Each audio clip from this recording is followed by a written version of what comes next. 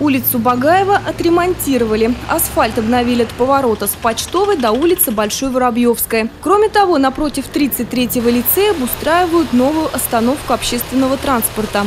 Сейчас рабочие делают так называемый заездной карман. По словам мэрии, транспорт начнет здесь останавливаться в ближайшие дни. Чиновники считают, что сработали на опережение. В этом году управление пенсионного фонда должно начать работу в новом здании. А это значит, остановка будет востребована не только учениками и учителями лицея, но и посетителями пенсионного фонда. Ближайшие остановки к этим учреждениям находятся достаточно далеко. Одна на улице Почтовой, другая на Богдана Хмельницкого.